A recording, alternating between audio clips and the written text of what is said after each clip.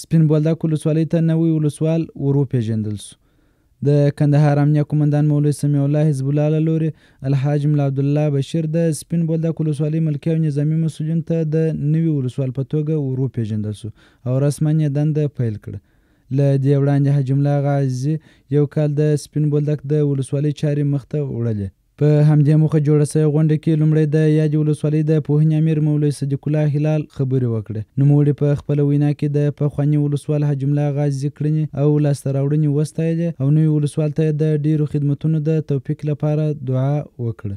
همدا راز شیخ الحدیث مولوي عبدالقیوم فیضان صاحب په غونډه کې وویل، حاجي ملا غا تل د بولدک د علماء کرامو خبرو او نیکو نظرونو ته غوږ نیولی او زموږ ستونزو ته یې رسېدنه کړې او په ټینګار سره یې وویل چې د سپین بولدک ولس به د حاجي ملا اغا کړي خدمتونه هېڅ وخت هېر نه کړي. نوموړي زیاته کړه، موږ به له نوي ولسوال ملا عبدالله بشیر سره هم اوږه پر اوږه درېږو او همکاري به یې کوو.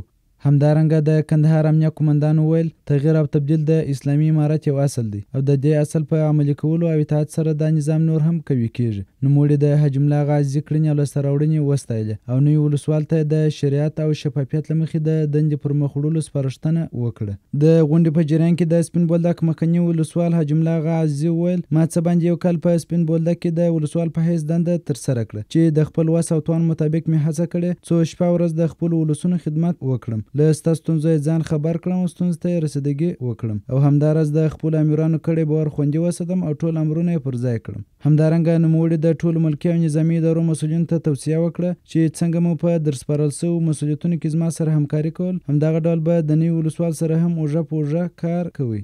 هېره دې نه وي چې د سپین بولدک نوي ولسوال تر دې وړاندې د میدان وردګو د والي او ارزګان د امنیه قومندان په توګه دندې ترسره کړي. نوموړي وویل چې د شته تجربې او خپل وس او توان مطابق به خپل راسپارل شوی مسؤلیت په صادقانه توګه ترسره کوم.